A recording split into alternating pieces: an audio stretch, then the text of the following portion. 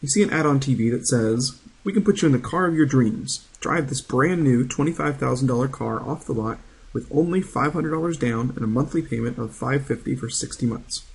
You ask yourself then, how much do you end up actually paying for this car? It turns out this is a pretty straightforward calculation.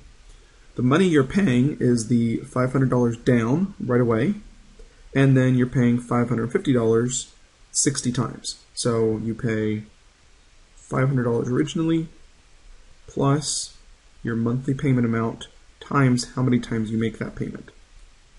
And this is a pretty straightforward calculation. 500 plus 550 times 60 gives you that you've paid a total of $33,500 for this car.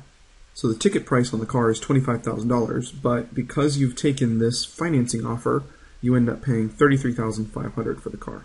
And of course, the difference between the two is the interest that you pay under this plan.